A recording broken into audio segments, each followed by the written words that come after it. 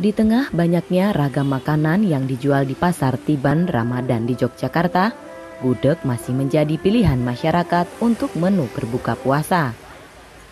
Rasa gurih santan dan kuah pedas krecek serta daging ayam gurih memang tampak menggugah selera.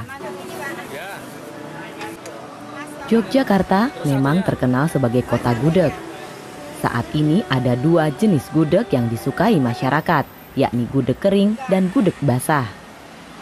Namun di bulan Ramadan ini, gudeg basah lebih disukai karena memiliki kuah santan yang kental. Bagi yang suka pedas, gudeg basah ini juga dilengkapi dengan kuah krecek pedas dengan cabai utuh di dalamnya. Menurut para penggemar masakan khas Yogyakarta ini, gudeg basah lebih enak dari gudeg kering. Selain berkuah, gudeg basah berasa gurih, pedas, dan sedikit manis. Ini berbeda dengan gudeg kering yang lebih dominan berasa manis. Lebih nikmat kalau kayak itu enak. Kalau gudeg basah cenderung gimana ya, nggak begitu manis. Tapi kalau gudeg kering kan terlalu manis. Maksudnya kan eh, nggak ada kuahnya tuh, jadi gimana ya?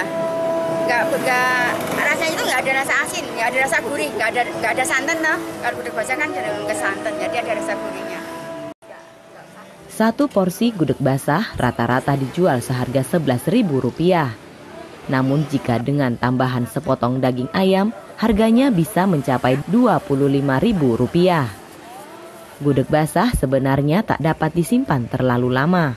Karenanya, penjual gudeg hanya membuat gudeg secukupnya agar dapat habis dijual dalam sehari. Meski bisa dihangatkan kembali, rasanya tak akan seenak sebelumnya. Mukhawan Cendana TV mengabarkan.